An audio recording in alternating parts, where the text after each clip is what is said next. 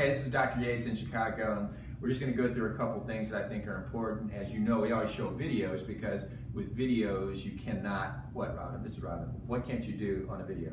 Can't Photoshop. Photoshop, that's right. You cannot Photoshop on a video. And all the time you'll see on these websites where all the hair is looking like, you know, nothing to this, to that. Photoshopping is a wonderful thing. We don't Photoshop. So today we have one of our great patients, Rick.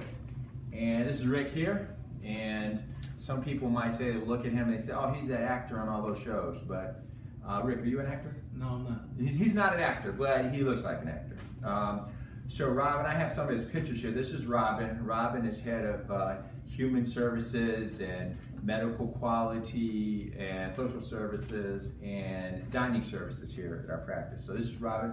So Robin, why don't you coach us all up and let us know how many grafts did Rick have and when did he have them? So as head of dining services, I can say no. I'm a, I'm a registered nurse, and um, Rick is one of our favorite patients. He had a FUE procedure about nine months ago. He had about a little bit over 2,000 grafts. Um, he has great donor hair, so he's a great patient. But one of the things to note is that Rick has really taken responsibility for his genetic hair loss. He did platelet-rich plasma the day of his surgery, which is, I think, a huge impact on growth and that's PRP. For everybody, that's PRP, platelet-rich plasma. Yep, so he did that. He's also religious about doing the laser cap, so he does laser therapy. So he's really active in helping his hair grow. Um, the hair transplant's gonna grow regardless, as you can see. You'll see it here in a minute when we show you some pictures. But he's also helping his other hair that's uh, miniaturizing over time with this genetic process. So that's getting stronger at the same time as his hair transplant hair is growing in, and it's looking really good. Well, let's let's see. First, let's see what he used to look like. First, show it to Rick. Just make sure that's him. That's me. Then we're not mixing up charts. Okay.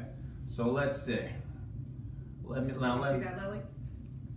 So now let's take a look at his hair. Okay. So are we kind of focused in here, Lily?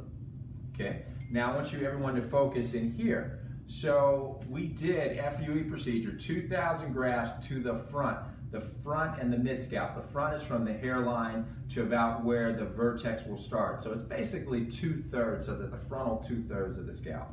So you can see it's not even nine months and he has great growth. I always, you know, do take my comb and I can feel the resistance. His hair looks natural. You know, if anybody saw him on the street, they would not say he had a hair transplant. So his donor, he has a lot more donor in the back. He has his hair cut short. Um, I think he's headed in the right direction at eight or nine months. He has about 70% of what he's going to experience as far as growth, new growth. There is going to be more growth, so that's going to be even better. So I know we've talked a lot here, Rick, but what do you think about the whole thing, looking at these pictures? Is, does this kind of, look at, that's him before. We always take a picture after we place the grafts in so we can see when they come back exactly where we place the grafts so we don't have to guess. Because sometimes if one area doesn't grow as well or something, we can always look back at our photo and say, well, maybe we didn't place as many grafts there, this and that. So looking at this map, we can see that we kind of focus really hard in this front because especially you have like a divot in the middle. Mm -hmm. Like, here's this picture before. In the middle of his scalp, he had like an opening, like a landing strip right in the middle. So we kind of focused in there and you can see that the fruits of our labor have paid off. So Rick, what do you think about the whole thing from start to finish? Were you scared? Were you skeptical? Uh, I, I kept looking around. I kept doing watching a lot of your videos and, and doing some homework as long as I uh, as long as I could. And the only regret is that I didn't do it sooner. So honestly, uh, it's been great. Your office has been great. Uh, you're very professional in here, and uh, no, nothing intimidating about the process at all. So. Great, great. Let me ask you this: Has anyone said? One, your hair looks different. Two, did you do anything? Did anyone say anything like that? There, there's, there's some people that are trying to figure out what's, what's different about me.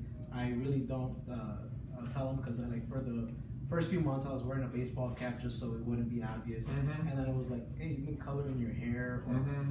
um, you know, it, it, they really like notice it different about you, and I, I haven't made it really public. Good, you don't need to, because so nobody can tell. They, they can't tell. And don't I, make it public. And I always shave my uh, my hair down with a clip it down with a one or. Do you do your own hair? Well, I don't do my own hair, but my barber is like, oh wow, you know, I, I What's your barber think of us? Because I'm sure they've seen a lot of hair transplants in the past, right? The, my my barber's been I've been with my barber for about 15 years, and, Mhm. and you know, he's like he never usually just take off much off the top, and it's, now he comes in man, it, it looks really good.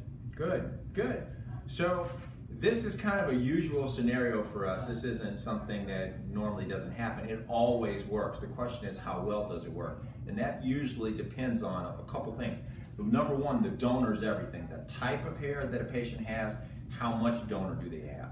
And so when you look on the internet and you look at different hair transplants, even on our site, some people say, oh, I like what you did here. Oh, that looks terrible. You messed up. It's not that we messed up. Okay, we do kind of the same thing every time, but it's like painting a picture. Depending on the canvas, meaning the donor, you can only do so much. So every patient is different, and we kind of optimize that patient. Now, Rick has a lot more donor hair that we can work to thicken this up or go back in the vertex, or, you know, he has a lot of options, but it's all based on your donor hair. So when you come in and you say you want it all filled in, that's wonderful. I want all mine filled in too, but it's always going to go down to your donor hair. What kind of donor hair, hair do you have? Um, and we don't want to waste donor hair. Am I missing anything, No, Rob? no, Okay. So, got it. Rick, I want you to make sure you tell the fellas that don't be scared because we see all these people come in all the time. They say, I have 10 guys watching me, you know? And I tell you, of all the guys who have said that, nobody's, their friends have not come in because if you're watching somebody, that means you're a chicken and you're never going to do it. Because there basically, as people say, two types of people in life people that do and people that watch. So if you're a watcher, just be content being a watcher. Don't say you're going to do it because you're watching somebody else, right? That's Or right. just come in. Or don't be a watcher, be a doer. There's nothing to be afraid of. Who, who wouldn't want more hair? We just did a commercial about balding gracefully. It's overrated. See you soon. We're in Chicago. Come see us. Thanks.